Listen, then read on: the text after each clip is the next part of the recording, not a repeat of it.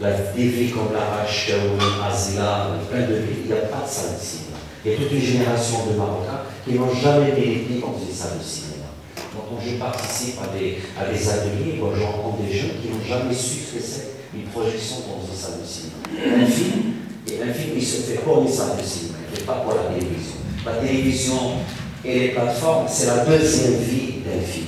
Moi, quand je vois tout le travail qu'on fait au niveau de l'image, au niveau du son, et tout l'argent qu'on met pour avoir une qualité de son, et quand tu vois le film à la télé, euh, quand un film, quand il passe à la télé, c'est 10% de, ce qu'on met comme investissement artistique et financier et tout ce que vous voulez. Euh, je trouve que ça, c'est dommage, parce que, euh, parce que quand on regarde un film dans une salle de cinéma, on est imprégné par le film.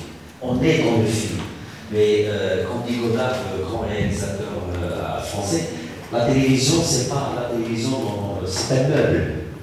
Et quand on regarde un film à la télé, on regarde un film, on mange, on va aux toilettes, euh, on parle à quelqu'un, on répond au téléphone. Et quand on regarde un film dans une salle de cinéma, on regarde le film, on fait rien, on, se déplace.